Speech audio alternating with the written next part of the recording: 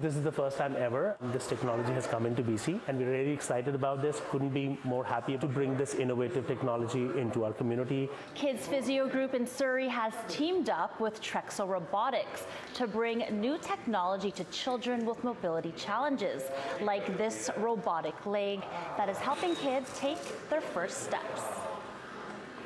Nine year old Rose is getting a chance to walk using the Trexo with the support of her family. Rose was diagnosed with cerebral palsy at just two years old, a condition that limits her mobility.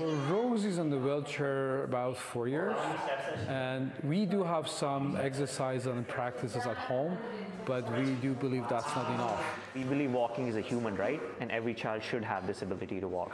The co founder and CEO of Trexo says he was inspired to create the robotic exoskeleton after he learned his nephew was diagnosed with cerebral palsy and would never get the chance to walk.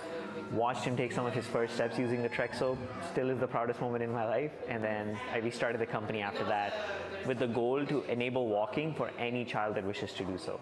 Right now, Surrey Kids Physio is the only clinic in BC that offers the robotic legs. But Maggu wants more children with mobility challenges to get a chance to walk on their own. Today, this is primarily out of pocket, so families that are that desperate for a technology like this are paying to get this.